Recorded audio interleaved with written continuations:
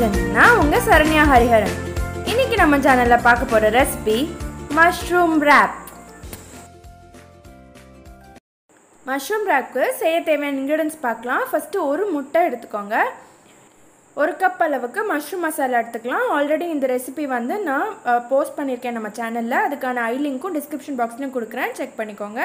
ஒரு half lemon two spoons tomato sauce three to four spoons butter நல்ல பொடியாக நறுக்கின வெங்காயம் ஒரு கப் ஒரு க்ரீன் சொல்லி பொடியாக நறுக்கிக்கோங்க. வாங்க ரேப் எப்படி செய்யலான்னு பார்க்கலாம். ஃபஸ்ட்டு ஒரு நான்ஸ்டிக் தவாவில் இந்த மாதிரி பட்டர் வந்து ஃபுல்லாக அப்ளை பண்ணிக்கோங்க. இது எதுக்குன்னா ஒட்டாமல் இருக்கிறதுக்காக. இன்றைக்கி நான் ரேப் பண்ணுறதுக்கு வீட் பேஸ் எடுத்திருக்கேன். சப்பாத்திக்கு மாவு எடுப்போம் இல்லையா? ஸோ அதே மாவு தான் இதை வந்து சப்பாத்திக்கு திரட்டுற மாதிரி திரட்டாமல் கொஞ்சம் ஒயர் ஷேப்பில் வந்து திரட்டிக்கோங்க. நீங்கள் வந்து மைதா பேஸ் கூட எடுத்துக்கலாம். இது செய்யறதுக்கு நான் ரெண்டு ரேப் செய்யறதுக்கான இன்க்ரீடியன்ஸ் எடுத்திருக்கேன். அதுக்கேற்ற மாதிரி நீங்கள் கேல்குலேட் பண்ணி எடுத்துக்கோங்க. இது கம்ப்ளீட்டாக அடுப்பை வந்து மீடியம் ஃப்ளேமில் வச்சு செய்யுங்க. சப்பாத்தி மாவை வந்து ரெண்டு சைடும் போட்டு லைஸாக வேக வச்சு எடுத்துக்குவோம். மீன்வெல் முட்டையை வந்து இந்த மாதிரி பீட் பண்ணிவிட்டு ரேப்போட ஒரு சைடில் இதை நல்லா எல்லா இடத்துலையும் ஈவனாக ஸ்ப்ரெட் ஆகிற மாதிரி அப்ளை பண்ணிக்கோங்க. இதுக்கு மேலே லேசாக இந்த மாதிரி பெப்பர் வந்து ஸ்ப்ரிங்கிள் பண்ணிக்கலாம். இப்போ முட்டை வேகிறதுக்காக ஒரு பக்கம் திருப்பி போட்டுக்குவோம் ஒன் மினிட் ஆகிடுச்சு ஸோ முட்டை வெந்திருக்கும். இப்போ முட்டை வெந்த சைடில் நம்ம வந்து இன்க்ரீடியன்ஸ் அப்ளை பண்ண போகிறோம் ஃபஸ்ட்டு டொமேட்டோ சாஸ் அப்ளை பண்ணிக்கலாம். இந்த மாதிரி ஒரு ஸ்பூனில் ஈவனாக uh, வந்து டொமேட்டோ சாஸ் எல்லா இடத்துலையும் ஸ்ப்ரெட் ஆகிற மாதிரி போட்டுக்கோங்க. நம்ம சாராஸ் கிச்சன் சேனல் இப்போ ஃபேஸ்புக்கில் இன்ஸ்டாகிராமில் ட்விட்டர்லேயும் இருக்குங்க. அதை ஃபாலோ பண்ணுறதுக்கான லிங்க்ஸ் நான் வந்து டிஸ்கிரிப்ஷன் பாக்ஸில் கொடுக்குறேன். செக் பண்ணிக்கோங்க. யூஸ்வலாக சப்பாத்தி சாப்பிடுவோம் இல்லையா? ஸோ அதுக்கு பதிலாக இந்த மாதிரி ஒரு வாட்டி செஞ்சு சாப்பிட்டீங்க அப்படின்னா வித்தியாசமாகவும் இருக்கும். குழந்தைங்களுக்கும் ரொம்ப இன்ட்ரெஸ்டிங்கான டிஷ்ஷாக இருக்கும். விரும்பி கட்டாயமாக வேணும்னு கேட்டு சாப்பிடுவாங்க. நம்ம சேனலுக்கு புதியவர்களாக இருந்தீங்கன்னா சாராஸ் கிச்சன் சேனலை சப்ஸ்கிரைப் பண்ணிக்கோங்க. பக்கத்தில் இருக்க பெல் பட்டனையும் ப்ரெஸ் பண்ணிங்கன்னா மட்டுமே என் வீடியோஸை மிஸ் பண்ணாமல் பார்க்கலாம். இப்போ நம்ம ஈவனாக எல்லா இடத்துலையும் சாஸ் அப்ளை பண்ணியாச்சு.